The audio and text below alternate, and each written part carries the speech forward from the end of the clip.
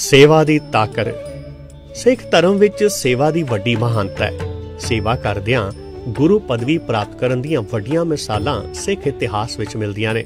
ਪਰ ਅੱਜ ਅਸੀਂ 21ਵੀਂ ਸਦੀ ਵਿੱਚ ਵਾਪਰੀ ਸੇਵਾ ਦੀ ਇੱਕ ਬੇਮਿਸਾਲ ਘਟਨਾ ਸਾਂਝੀ ਕਰ ਰਹੇ ਹਾਂ। ਗੱਲ 2004 ਦੀ ਹੈ। ਸੱਚਖੰਡ ਸ੍ਰੀ ਦਰਬਾਰ ਸਾਹਿਬ ਦੇ ਸਰੋਵਰ ਵਿੱਚ ਫਿਲਟਰ ਲਗਵਾਉਣ ਦੀ ਸੇਵਾ ਲਈ ਅਮਰੀਕਾ ਤੋਂ ਟੁੱਟ ਬ੍ਰਦਰਸ ਆਪਣੇ ਇੰਜੀਨੀਅਰਾਂ ਨਾਲ ਸ੍ਰੀ ਅੰਮ੍ਰਿਤਸਰ ਸਾਹਿਬ ਪਹੁੰਚੇ। ਫਿਲਟਰ ਲਗਾਉਣ ਵਾਲੇ ਇੰਜੀਨੀਅਰਾਂ ਨੇ ਸਰੋਵਰ ਦਾ ਨਿਰੀਖਣ ਕਰਕੇ ਸਰੋਵਰ ਵਿੱਚ ਜੰਮੀ ਕਾਈ ਅਤੇ ਮਿੱਟੀ ਨੂੰ ਵੇਖ ਕੇ ਕਿਹਾ ਕਿ ਫਿਲਟਰ ਲਗਾਉਣ ਲਈ ਪਹਿਲਾਂ ਸਰੋਵਰ ਨੂੰ ਸਾਫ਼ ਕਰਨਾ ਪਵੇਗਾ, ਜਿਸ ਵਿੱਚ ਘੱਟੋ-ਘੱਟ 6 ਮਹੀਨੇ ਦਾ ਸਮਾਂ ਲੱਗੇਗਾ।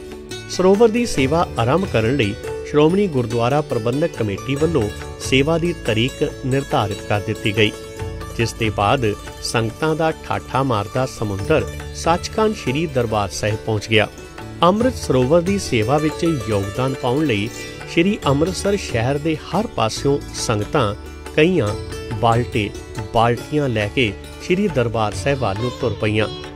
24 ਮਾਰਚ 2004 ਨੂੰ ਅਰਦਾਸ ਉਪਰੰਤ ਹੋਈ ਸੇਵਾ ਠੀਕ 2 ਦਿਨ ਬਾਅਦ, ਯਾਨੀ ਕਿ 26 ਮਾਰਚ ਨੂੰ ਸੰਪੂਰਨ ਹੋ ਗਈ। ਵਿਦੇਸ਼ੀ ਇੰਜੀਨੀਅਰ ਸਿੱਖਾਂ ਦੀ ਸੇਵਾ ਦੇ ਇਸ ਅਨੋਖੇ ਜਜ਼ਬੇ ਨੂੰ ਦੇਖ ਕੇ ਹੈਰਾਨ ਰਹਿ ਗਏ, ਕਿਉਂਕਿ ਜੋ ਕੰਮ ਮਸ਼ੀਨਾਂ ਦੀ ਮਦਦ ਨਾਲ 6 ਮਹੀਨੇ ਵਿੱਚ ਪੂਰਾ ਹੋਣਾ ਸੀ, ਗੁਰੂ ਕੇ ਸਿੱਖਾਂ ਨੇ ਉਸ ਕੰਮ ਨੂੰ ਬਿਨਾਂ ਮਸ਼ੀਨਾਂ ਦੇ ਹੀ ਦਿਨਾਂ ਵਿੱਚ ਖਤਮ ਕਰ ਦਿੱਤਾ। ਸੱਚਖੰਡ ਸ੍ਰੀ ਦਰਬਾਰ ਸਾਹਿਬ ਦੇ ਪਵਿੱਤਰ ਸਰੋਵਰ ਦੀ ਸਫ਼ਾਈ ਤੋਂ ਬਾਅਦ ਟੁੱਟ ਬ੍ਰਦਰਸ ਨੇ ਸਰੋਵਰ ਦੇ ਪਾਣੀ ਦੀ ਰੈਗੂਲਰ ਸਫ਼ਾਈ ਲਈ ਆਟੋਮੈਟਿਕ ਫਿਲਟਰ ਲਗਵਾਉਣ ਦੀ ਮਹਾਨ ਸੇਵਾ ਕਰਵਾਈ। ਜੋ ਅੱਜ ਵੀ ਸਰੋਵਰ ਦੇ ਪਾਣੀ ਨੂੰ ਨਿਰੰਤਰ ਫਿਲਟਰ ਕਰ ਰਹੇ ਹਨ।